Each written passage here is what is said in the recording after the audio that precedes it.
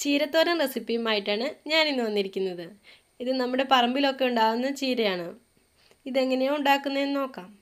അതിനു മുൻപായിട്ട് ഇവാ വ്ളോഗ്സിലേക്ക് എല്ലാവർക്കും സ്വാഗതം. ആദ്യമായിട്ടാണ് നിങ്ങൾ ഈ ചാനൽ കാണുന്നതെങ്കിൽ ഒന്ന് സബ്സ്ക്രൈബ് ചെയ്തേക്കണേ. തോരൻ വെക്കാനായിട്ട് ചീര ഇവിടെ അരിഞ്ഞു വെച്ചിട്ടുണ്ട്.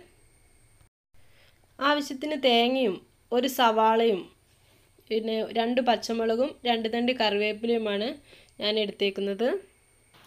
പാൻ ചൂടായിട്ടുണ്ട്. അതിലേക്ക് നമുക്ക് എണ്ണ ഒഴിച്ചു കൊടുക്കാം.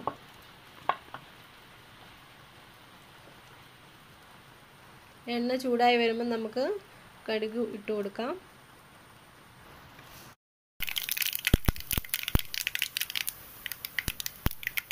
ഇനി അതിലേക്ക് എടുത്തു വെച്ച ചീര ഇട്ട് കൊടുക്കാം.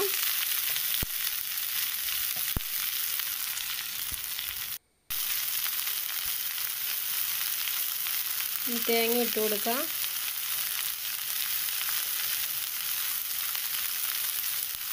പിന്നെ പച്ചമുളകും സവാളയും കറിവേപ്പിലയും ഒക്കെ ഇട്ട് കൊടുക്കാം.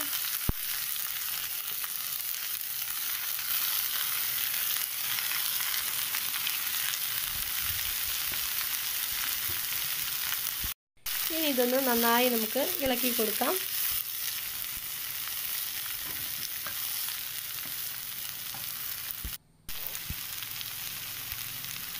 ഇനി ആവശ്യത്തിന് ഉപ്പും കൂടെ ചേർത്ത് കൊടുക്കാം. എന്നിട്ട് ഒന്നും കൂടെ മിക്സ് ചെയ്ത് നമുക്ക് മൂടി വെച്ച് വേവിക്കാം. ഇടയ്ക്കൊന്ന് നമ്മൾ ഇളക്കി കൊടുക്കണം ഇത്.